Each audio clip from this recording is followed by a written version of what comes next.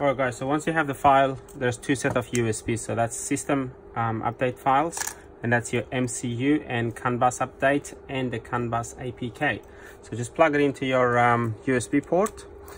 And then after you plug it into the USB port, just to make sure that we're on the correct side, I'll, I'll, I'll show you what I mean. So we just go to ES files.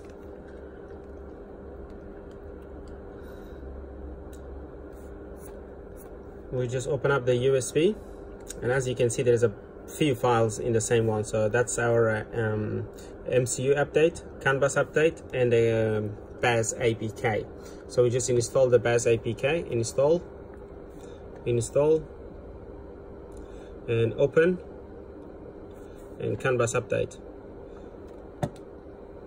I will just show you a progress bar as you can see it's keep going up. And once it reaches to 100% it will give you a success message. So once you see the message that says um, CAN bus being updated successfully then you know it's being done. Here we go. So update successful time blah blah blah. So just press ok. Press back back back back back. So that's done. The CAN bus update is finished. Now we just go to the settings. Go scroll down. Card settings and we just do MCU update. Tap that, USB 1, tap OK, and we'll just start loading.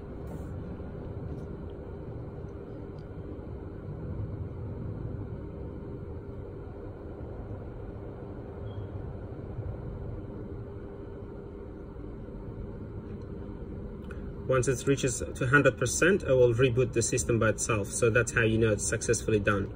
That's 100%. Now the system should reboot by itself. There you go.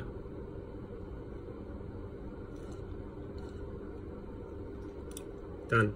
I'll just make another quick short video of the system update as well for you guys. Okay, so uh, that one is done. So the MCU, APK and MCU update and the CAN bus update is completely done. And we just plug in the system update file. We just plug it into the USB port. That's done and the unit will just show us the USB icon that's being plugged in. We just go to ES uh, File Explorer just to make sure that we've got the correct file inside the USB. We'll double check it. USB 1. So you've got four files. Ignore the rest. System volume, blah, blah, blah. will always show that. One, two, three, four. So this correct one. We just go back, back, back, back. Go settings. Scroll down. Card setting and we say system update. Tap that. USB 1 select it. And here we go. It's reading it. This process will take quite some time. Um, it can literally take up to about five six minutes.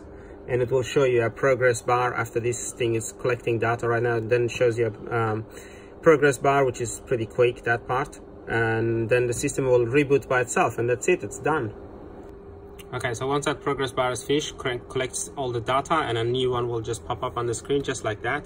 So it will just show that uh, update, update start. So it will just um, go for a bit of time, about two, three minutes, and this progress bar will be just keep going up and up and each file will appear here, which one has been done. It could take another two, three minutes or so,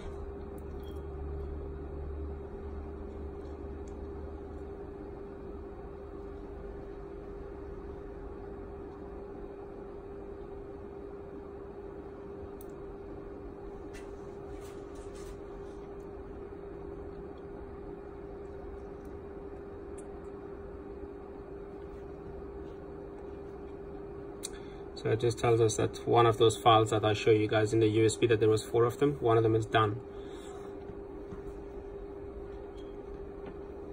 That's the second one. Second one is done too.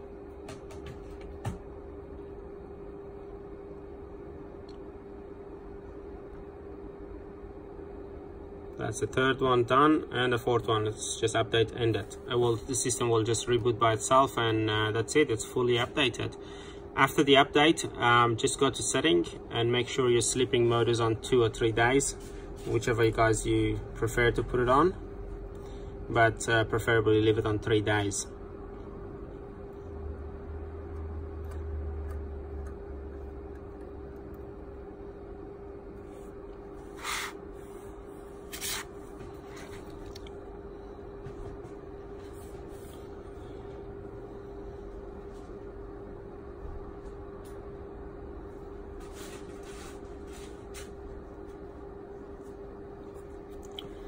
Okay so we just got settings. Scroll down.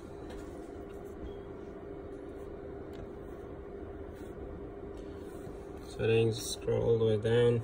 Car settings. And sleep mode. It's on normally it's on one day so just leave it on three. And then that's it. You're set to go